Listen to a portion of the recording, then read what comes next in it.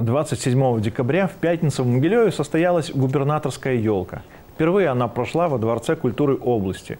На нее пригласили более полутысячи детей со всего региона. Отличники учебы, победители олимпиад, лидеры общественных организаций, а также дети, которые остались без попечения родителей. Ведь это часть благотворительной акции «Наши дети».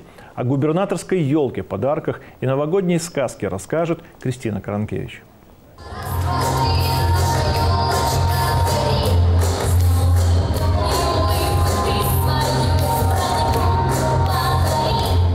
Губернаторская елка – главный детский утренник. Приглашение сюда, можно сказать, подарок за прилежание и успехи, а впечатления от него станут ярким и теплым воспоминанием детства. Настроение очень хорошее. Тут все нравится, все очень красиво и все сделано именно для детей, чтобы им понравилось. Каких чудес вы ждете в эти праздники?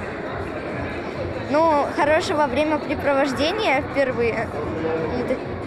Хорошего настроения. А мечты у тебя какие? Ну, я вот э, занимаюсь битбоксом. Ну, знаете, что такое? Конечно. Ну, вот хочу стать как-то, выдвинуться в этом, ну, стать чуть популярным в этом. Классно. Чтобы было в семье все хорошо, у родных и близких было со здоровьем все в порядке. Настоящего новогоднего чуда пожелал ребятам и председатель Могилевского облсполкома Леонид Заяц. И началась сказка.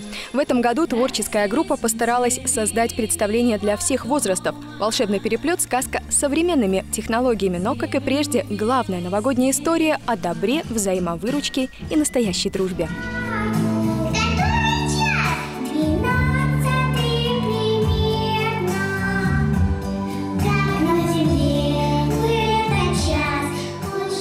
За время рождественских и новогодних праздников главную сказку области посмотрит примерно 30 тысяч ребят и их родителей. Всего же в республиканской благотворительной акции «Наши дети» примут участие примерно 150 тысяч маленьких жителей со всего региона. Ведь главный принцип внимания каждому ребенку актуален вне времени.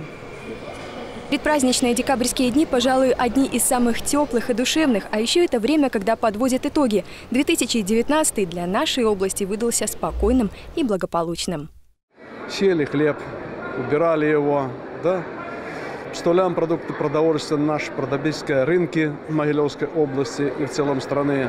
Работает промышленность, работает социальная сфера, строятся новые объекты, которые решают многие проблемы среди общества нашей Могилевской области.